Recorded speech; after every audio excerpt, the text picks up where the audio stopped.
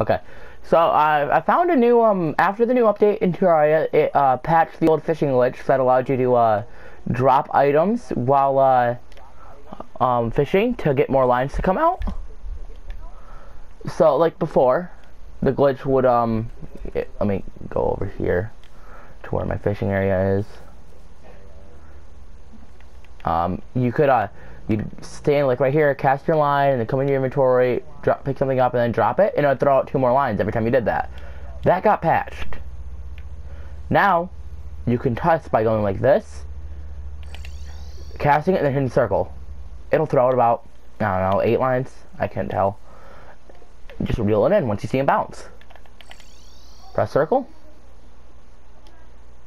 And reel in. Not quite as good as the old one, but you're still getting a, lo a lot of lines out at once.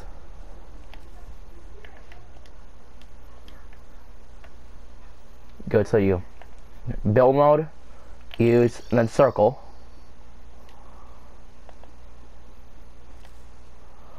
Uh, 10 bombfish, nice. Um, yeah, that's basically how that works. I mean, you can, uh,